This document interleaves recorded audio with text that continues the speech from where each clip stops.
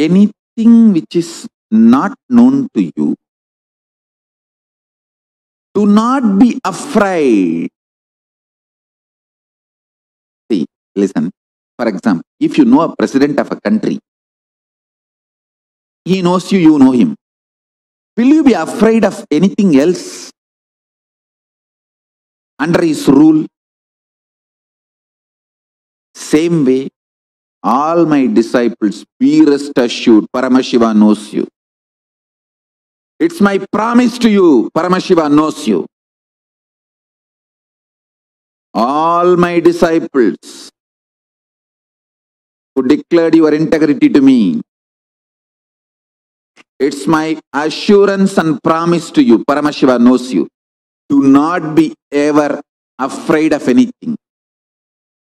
Be loving. Don't be arrogant. I am not asking you to be arrogant. Just be relaxed.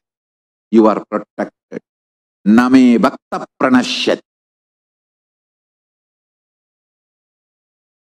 Hey, listen. I really love you guys. I will not lie. I will only tell you guys very clearly where I can take care of you and where you will have to take the responsibility on your own. I will very clearly bifurcate all that and tell you. Now I am making a very responsible statement.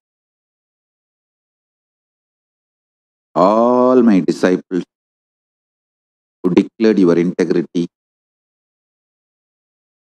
to me, to all of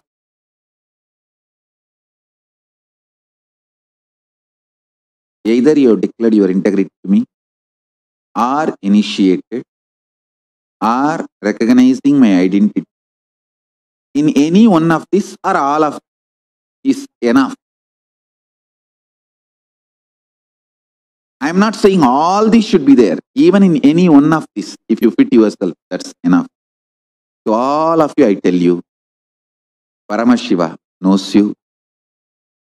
You know paramashiva do not be afraid. You don't have to be arrogant, but you do not need to be afraid.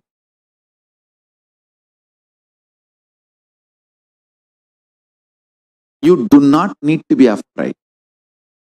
Unsubstantiated fear forms the core and from that, the snowballing effect starts and demons are formed. Do not form the core for demon.